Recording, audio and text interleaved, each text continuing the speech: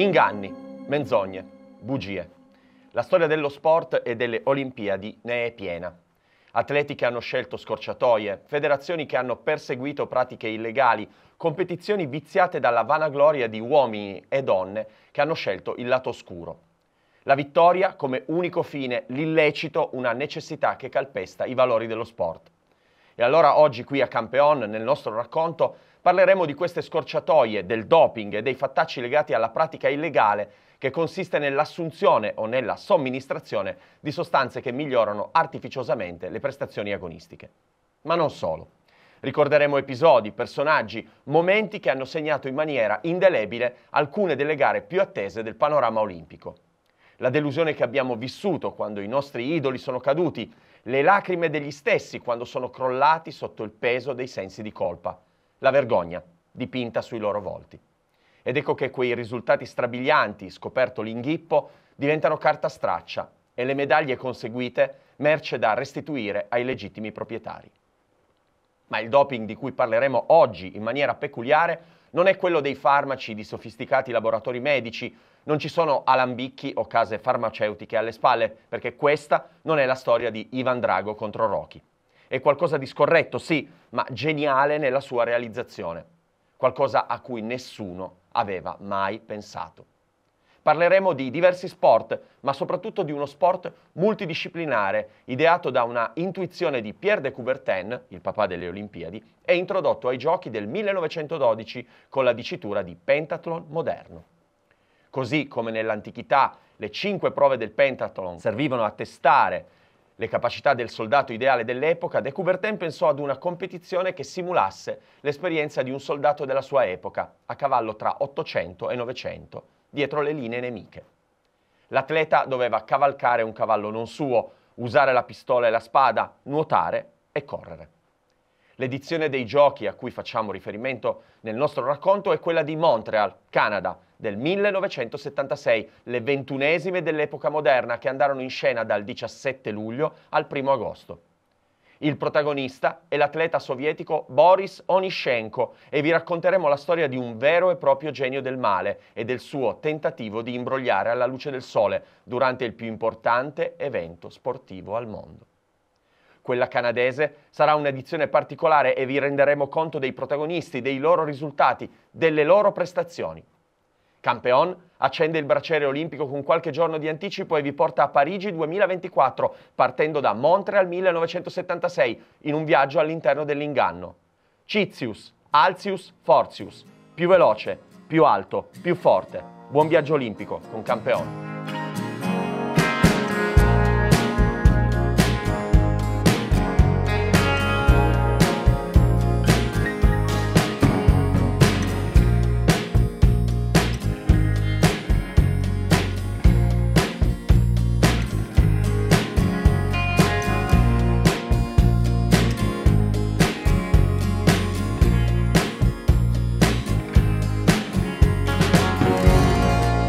Aprile la Camera dei Deputati approva con i voti di democristiani e post-fascisti del movimento sociale l'articolo 2 della legge sull'aborto in cui viene specificato che la pratica è considerata reato ed è ammessa solo in casi di pericolo per la vita della madre. Fortunatamente, due anni dopo arriverà la legge 194 a regolare un tema così importante, ancora oggi attaccato e minacciato per quella che è tra le leggi più discusse in vigore in Italia. Nasce in un garage in California la Apple, fondata da Steve Jobs e Steve Wozniak. In Portogallo viene approvata la nuova Costituzione, figlia della rivoluzione dei Garofani. In maggio un violento terremoto devasta il Friuli e un mese dopo Adriano Panatta vince il Roland Garros, ultimo italiano a vincere un titolo slam prima dell'avvento di Yannick Sinner. Il 17 luglio 1976 si aprono i giochi di Montreal. La città canadese vince il ballottaggio con Mosca dopo aver eliminato Los Angeles nella prima votazione.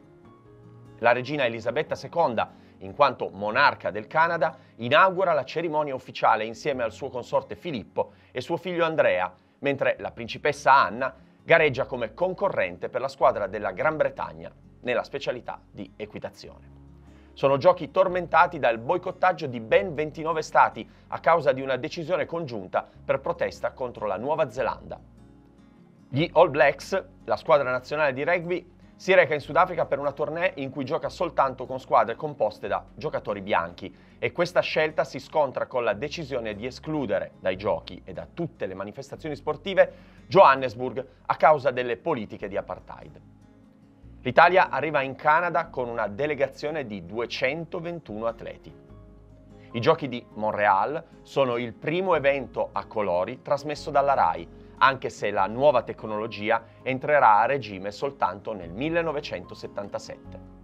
Saranno i giochi di Nadia Comaneci e di Nelly Kim, le prime due atlete nella ginnastica artistica a ricevere un 10. Per la romena, che domina la ginnastica artistica con tre medaglie d'oro, un argento e un bronzo, accade durante le parallele asimmetriche e il corpo libero, mentre la sovietica raggiunge lo strabiliante risultato nell'esercizio di volteggio. L'assegnazione del punteggio perfetto viene ritardata perché i tabelloni elettronici sono programmati per visualizzare votazioni fino ad un massimo di 9.99.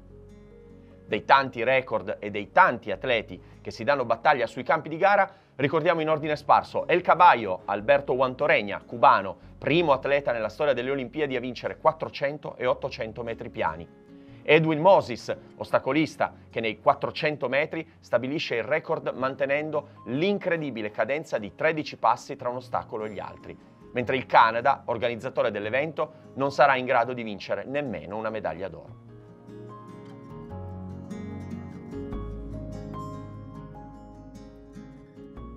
Questa edizione è ricordata per le problematiche organizzative di molti impianti e infrastrutture terminati a ridosso dell'inizio dei giochi, con un aumento dei costi che costringerà la città canadese a spalmare il debito per oltre 30 anni.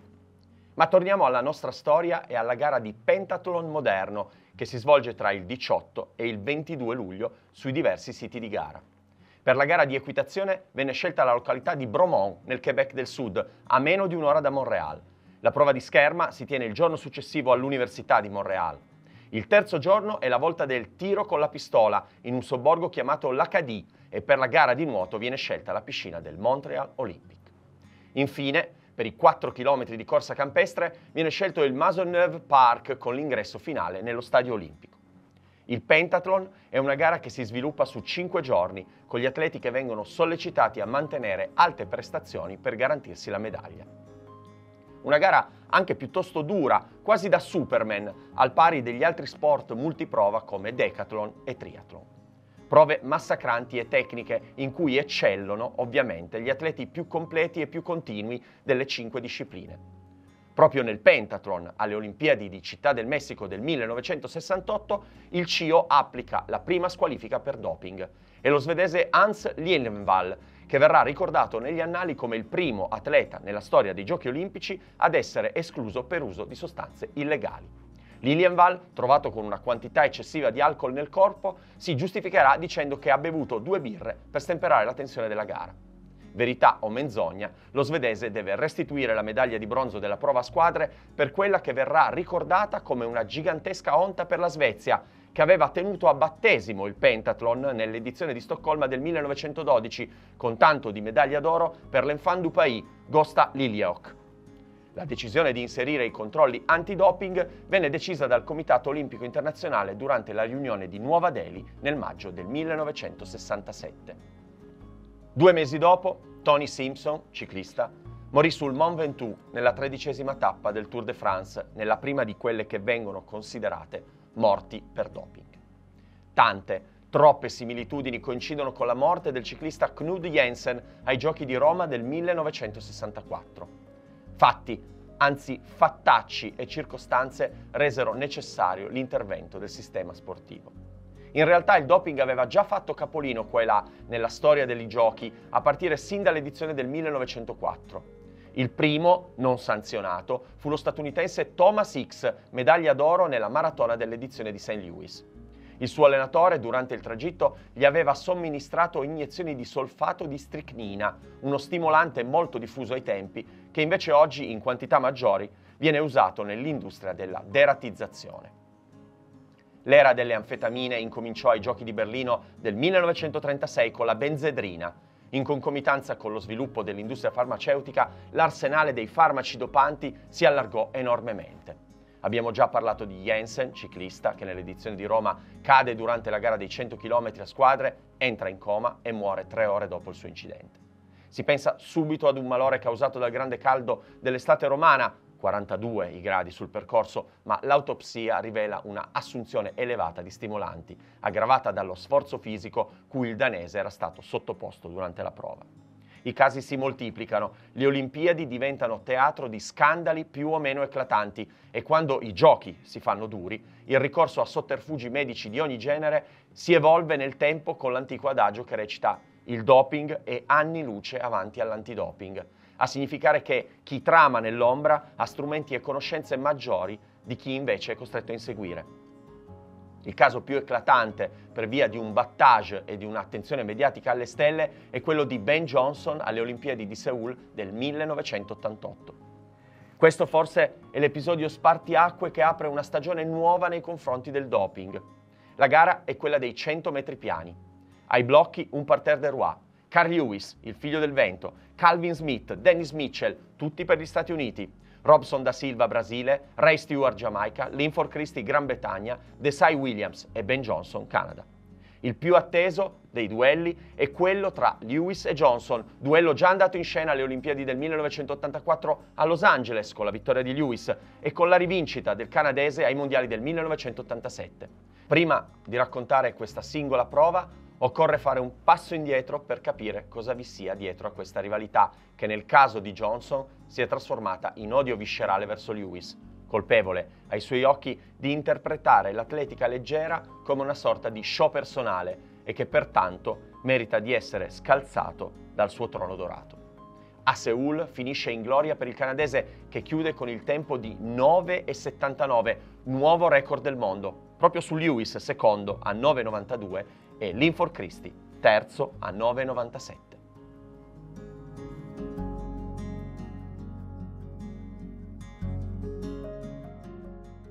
Quella di Ben Johnson è una prestazione incredibile che desta però qualche sospetto di troppo. E infatti, qualche giorno dopo, durante un controllo antidoping, l'esito parla chiaro. Steroidi.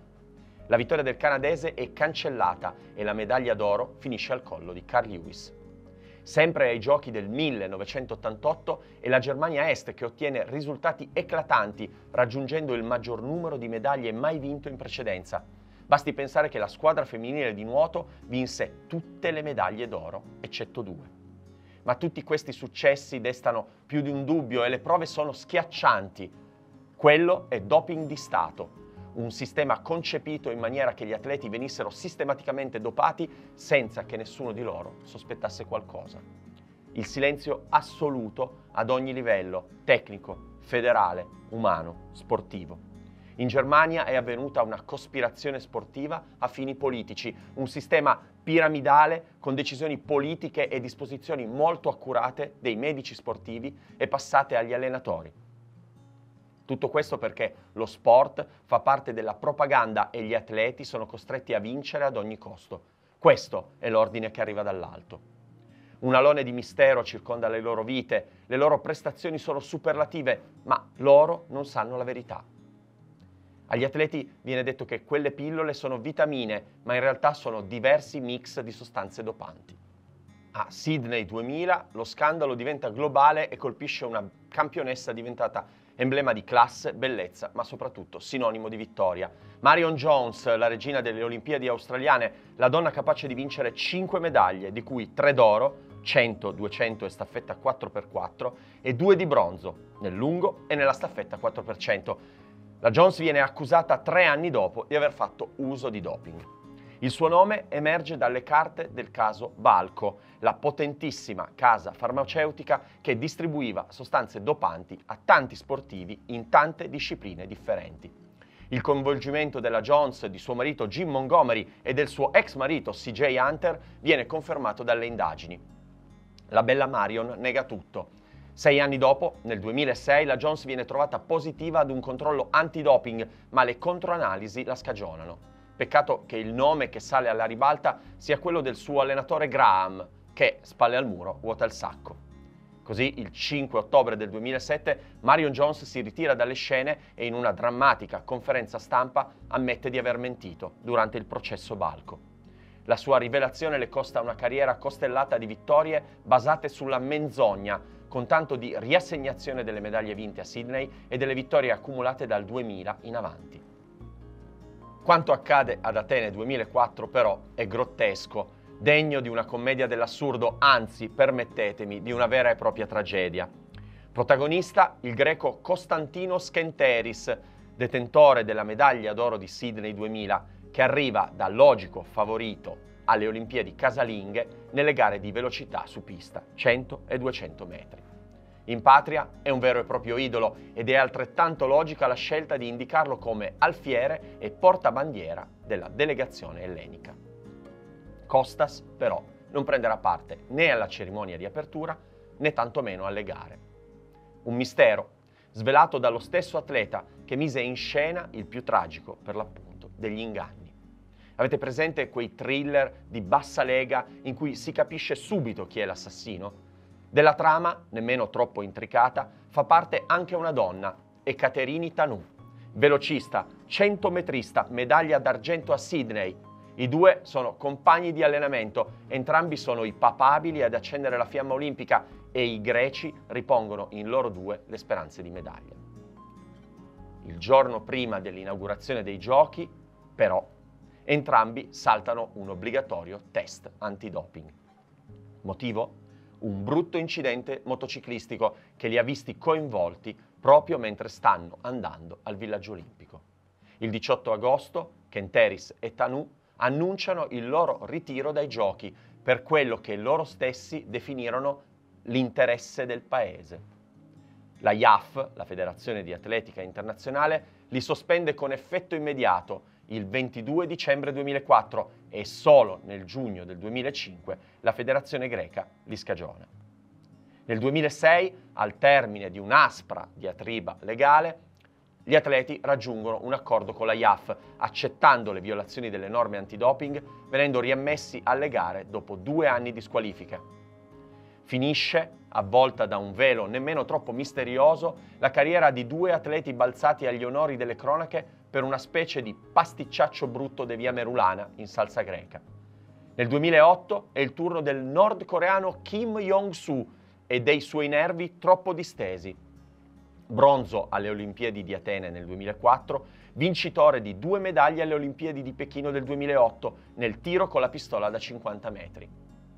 Nervi distesi, anche grazie al propranololo, un beta bloccante utilizzato principalmente per trattare l'ipertensione, ma usato anche per prevenire i tremori. Kim è stato privato delle sue due medaglie agli occhi di tutto il mondo, ma non in Corea del Nord, dove la notizia della sua squalifica è stata nascosta dalla Korea Central News Agency.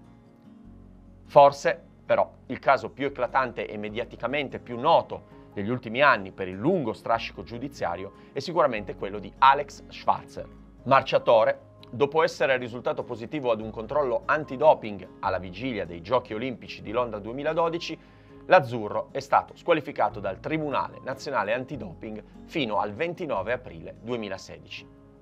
Rientrato in attività in occasione dei mondiali a squadre di marcia, Schwarzer vince la 50 km, ottenendo la qualificazione per i Giochi olimpici di Rio de Janeiro 2016. Ma il 22 giugno dello stesso anno viene comunicato alla FIDAL che Schwarzer risulta nuovamente positivo ad un controllo su un campione di urine prelevatogli in un controllo a sorpresa il primo gennaio dello stesso anno. La sostanza incriminata sarebbe il testosterone. Schwarzer si difende dichiarandosi innocente, ma la IAF decide di sospenderlo in via cautelare in attesa della decisione finale. Il 10 agosto 2016 il TAS, il Tribunale Arbitrale dello Sport, considerata la seconda violazione delle norme antidoping, squalifica l'atleta per otto anni. Come diretta conseguenza della squalifica, oltre a non poter partecipare ai Giochi Olimpici di Rio 2016, tutti i suoi risultati sportivi del 2016 vengono cancellati. Ma quello che si abbatte sull'atletica russa è un vero e proprio uragano. La commissione della VADA, l'Agenzia Mondiale Antidoping, presieduta dal canadese Dick Pound, presenta un report dai riscontri agghiaccianti. La Russia avrebbe praticato negli ultimi anni un vero e proprio doping di Stato, creando una organizzazione interamente votata alla manipolazione dei risultati.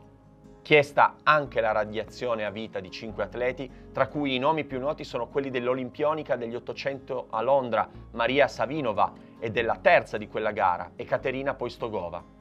Chiesta la squalifica per due anni di tutti gli atleti russi e quindi per loro niente Olimpiadi e niente europei.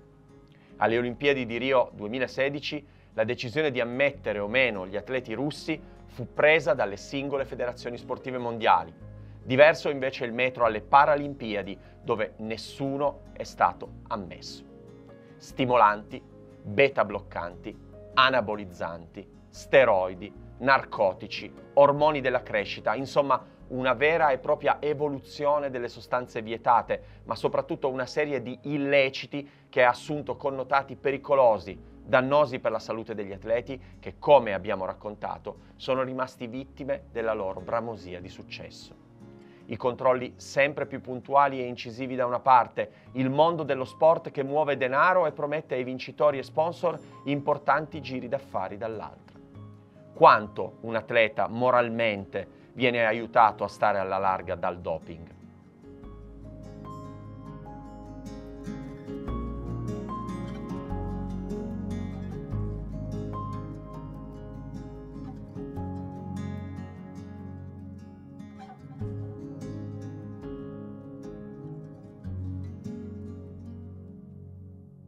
Torniamo a Melbourne e alla gara di pentathlon moderno.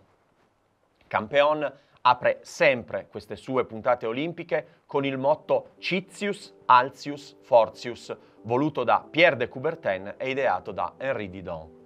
Più veloce, più in alto, più forte, un motto che trova una corrispondenza ad amorosi sensi con la disciplina del pentathlon, che riassume in cinque attività l'atleta moderno, differenziandolo dal pentathlon tradizionale, che nella Grecia antica era composto da prove di velocità, salto in lungo, lancio del disco e del giavellotto, oltre alla lotta. Dal 1912 a Stoccolma il pentathlon cambia veste, equitazione, scherma, tiro, nuoto e corsa. E caso curioso, sono proprio gli svedesi a dominare le prove olimpiche di Stoccolma, Parigi, Amsterdam, Los Angeles e dopo la pausa bellica a Londra nel 48 e ad Helsinki nel 52. Poi viene il turno delle federazioni dell'Est, con Ungheria e URSS che si aggiudicano alternativamente le medaglie delle Olimpiadi successive. Anche perché nel quadriennio precedente le due nazioni si sono divise equamente onori e vittorie, da una parte gli ungheresi con Balcio e Nemet, dall'altra i sovietici con Ledninov, Shmelyov e Onishenko. A Melbourne è facile pensare che la vittoria sarà nuovamente un fatto tra sovietici e ungheresi. La competizione si apre con la gara di equitazione a Bromont su un percorso di 12 barriere che i cavalieri superano piuttosto agevolmente, considerando che al comando si trovano ben 11 atleti con 1100 punti a testa. Il concorso a squadre vede la Svezia a 3.268 punti, seguita da Francia e Gran Bretagna. Attardate sia l'Unione Sovietica, ottava a quota 3.136 punti, e l'Ungheria, tredicesima a 2.722. I Magiari non hanno cominciato bene e solo nel giorno successivo, nella prova di scherma specialità spada, che si svolgerà allo Stade d'Hiver dell'Università di Montreal, Kancai e Sacic contribuiscono a recuperare posizioni, risalendo al quarto posto con 5.545 punti, a 200 lunghezze dai capofila cecoslovacchi. Nella prova di scherma, attesissimo, sale in pedana il sovietico Boris Onishenko, un oro e due argenti olimpici, cinque titoli mondiali, due argenti e quattro bronzi. Una istituzione del pentathlon, uno degli, degli atleti simbolo della specialità. Nato in quella che oggi è Ucraina, in un villaggio vicino a Poltava, Onishenko, quasi quarantenne, è conscio di essere al suo ultimo giro di valzer, nell'ultima possibilità di conquistare l'oro olimpico nell'individuale, dopo il quinto posto di Città del Messico del 1968 e l'argento di Monaco del 72. Proprio quattro anni prima a Monaco di Baviera, Onishenko era stato capace di aggiudicarsi 45 assalti su 56. La scherma è decisamente la prova a lui più congeniale. Nel pentathlon moderno la gara si svolge in un girone all'italiana in cui ogni atleta deve confrontarsi con gli altri partecipanti e la regola dice che l'assalto si conclude alla sola prima stoccata vincente. Per il terzetto sovietico, composto anche dal campione mondiale Ledninov e da Boris Mosolov, la prima rotazione è contro la Gran Bretagna. Di fronte al mancino Onishenko c'è un altro mancino, il britannico Adrian Parker. Il sovietico affonda e la luce che segnala il colpo si accende. Per chiarire il funzionamento della scherma, bisogna dire che un colpo, messo a segno quando si preme la punta della spada, chiude il circuito elettrico facendo contatto tra i due fili che percorrono la lunghezza della spada stessa fino alla base all'interno della guardia della campana. Il circuito continua da una spina vicino all'impugnatura attraverso il filo del corpo nella giacca dello schermidore, arriva alla bobina elettrica e alla scatola del punteggio e attiva una luce rossa o verde per indicare chi dei due contendenti ha segnato il colpo. Il britannico capitola di fronte alla stoccata vincente del sovietico. Parker protesta. Per lui non c'è stato nessun tocco e le sue invettive sono rivolte all'arbitro. Il britannico si toglie la maschera e chiede che la spada del sovietico venga controllata. Ad un primo esame superficiale, la spada di Onishenko sembra regolare e l'arbitro non annulla il tocco. Adesso tocca al britannico Fox incrociare le lame con il sovietico. Mondano, educato, affascinante, biondo, occhi azzurri, Fox è il modello del pentatleta moderno, una specie di James Bond al servizio di Sua Maestà Britannica. Fox è uno dei più considerati all'interno della comunità di questo sport e possiede un dono singolare, la capacità di parlare con un reale della corona o con l'ultimo dei disperati e di far sentire speciale chiunque gli stia intorno. Una delle sue espressioni preferite è non ci vuole sforzo per essere gentili con le persone. Abbiamo spiegato che i duelli si decidono su una singola stoccata oppure dopo tre minuti se non ci sono stati tocchi vincenti. A 40 secondi dalla fine dell'assalto, Fox e Onishenko non hanno portato l'attacco decisivo e il regolamento, in caso di parità al termine dei tre minuti, assegna una sconfitta ciascuno ai due contendenti. Fox attira Onishenko in un attacco e descrive quel momento così. Ero ancora fuori dalla distanza di tiro quando ho preso la lama di Onishenko molto alta, prima che la sua lama fosse vicino a me la sua lama era sopra la mia testa. Gli ho dato un colpo al petto, ma la mia luce si è accesa. Il colpo è non plausibile nella migliore delle ipotesi, fisicamente impossibile nella peggiore. Nell'istante in cui viene registrato il tocco di Onishenko, la punta della sua spada punta verso il cielo. Com'è possibile che quel tocco sia andato a buon fine? Fox capisce che in quella spada qualcosa non va e che il dubbio che tutti hanno avuto nell'assalto tra Onishenko e Parker si è nuovamente ripetuto con la luce elettronica che si è accesa senza che il britannico sia stato toccato. Il dubbio diventa certezza nell'assalto successivo con i britannici che chiedono nuovamente l'intervento del giudice arbitro, l'italiano Guido Malacarne.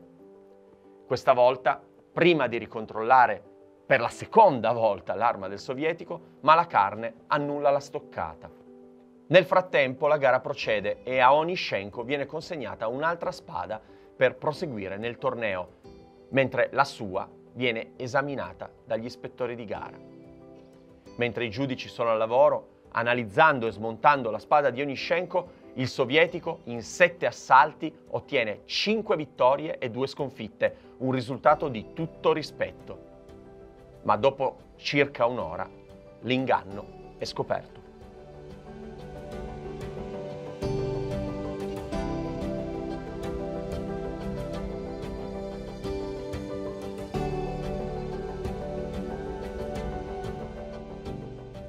Questa volta non si tratta di doping farmacologico, non ci sono sostanze che aiutano l'atleta a migliorare la sua prestazione. Qui si parla di doping tecnologico, di marchingegni, di furberie, di un vero e proprio raggiro. All'altezza dell'impugnatura, all'interno dell'Elsa, L'arma del sovietico ha un pulsante. Ogni volta che quel pulsante viene premuto, trasmette un impulso che assegna la stoccata a Onishenko. Ovviamente il sovietico viene espulso dal torneo e l'Unione Sovietica non può difendere il suo titolo olimpico. Sandor Kerekesh, direttore della competizione olimpica di pentathlon, dichiarò è stata una palese e deliberata manipolazione dell'arma. È stato come catturare un assassino con la pistola fumante seduto davanti ad un cadavere. Onishenko è una brava persona, per me è uno shock tremendo. Per vent'anni è stato un atleta straordinario, in Unione Sovietica è un eroe, è un idolo per i bambini. Ai suoi compagni di squadra, Ledninov e Mosolov, viene concesso di proseguire la competizione individuale. Ma perché un atleta così forte, soprattutto in quella specialità, ha avuto bisogno di ricorrere a questo inganno? Il britannico Fox prova a dare una spiegazione. Oggi sui concorrenti vengono esercitate pressioni politiche terribili. Il bisogno di vincere è troppo grande. Sono distrutto e lo sono anche tutti i russi. Ci conosciamo tutti bene, siamo tutti amici. Quando il suo stratagemma viene svelato, Onishenko esce tristemente dalla sala, fermandosi soltanto per chiedere scusa a Fox. L'affair Onishenko esplode. USA e URSS sono invischiate nella guerra fredda e le opposte fazioni reagiscono in maniera diametralmente opposta.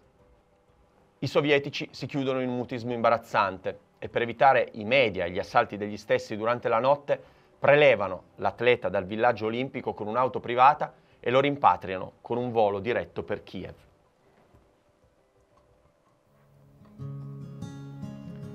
La radio russa riferirà, il nostro atleta stava tirando con una spada che non soddisfaceva i requisiti delle regole internazionali.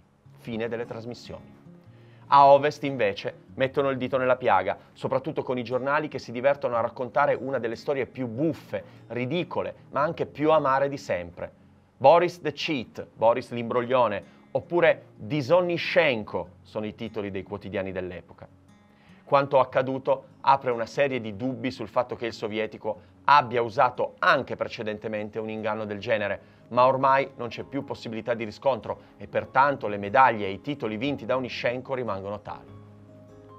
La gara procede e vede la vittoria del polacco Pichak Pechak davanti al cecoslovacco Bartu per soli 35 punti. E Onishenko la sua furbata tecnologica non passa inosservata agli occhi del bureau sovietico e a distanza di alcuni mesi dalla fine delle Olimpiadi, il pentatleta viene convocato dal segretario generale del PKUS, Leonid Brezhnev, per un colloquio. Al termine dello stesso viene congedato dall'armata russa, multato di 5.000 rubli e revocati tutti i riconoscimenti sportivi ottenuti in carriera. Rientrato a Kiev, lavorerà come tassista e come guardiano di una piscina. La sua sarà una esistenza mediocre, quella di un uomo che ha perso tutte le sue qualità. A Monaco 1972 ben 14 atleti avevano assunto uno stimolante. A Città del Messico nel 68 era stato l'alcol a tradire lo svedese Lilienval e per la terza edizione consecutiva dei giochi il pentathlon è nell'occhio del ciclone. Eppure questa di Onishenko è la più grave e dannosa delle violazioni delle regole. Un grande maestro dello sport russo 38 anni, maggiore dell'esercito, segretario generale della Federazione russa di pentathlon, due volte campione nazionale, medaglia d'argento nel 1972 e membro della squadra nazionale che vinse la medaglia d'oro a Monaco, sorpreso mentre utilizzava un apparecchio elettrico che gli permette di registrare falsi colpi nella gara di schermo. Se la sua spada fosse stata collegata normalmente, una luce avrebbe lampeggiato ogni volta che avesse toccato un avversario, ma a quanto pare Onishenko ha aggiunto un cavo in più al circuito controllato da un pulsante nascosto sotto la rilegatura in pelle, in modo che fosse impossibile da individuare da chi avesse controllato le sue armi. Era il favorito e voleva vincere a tutti i costi per le pressioni che arrivavano dall'alto, dai palazzi della politica, ma soprattutto perché voleva fortemente quella promozione a tenente colonnello che gli avrebbe permesso di ricoprire una posizione elevata nell'amministrazione dello sport russo.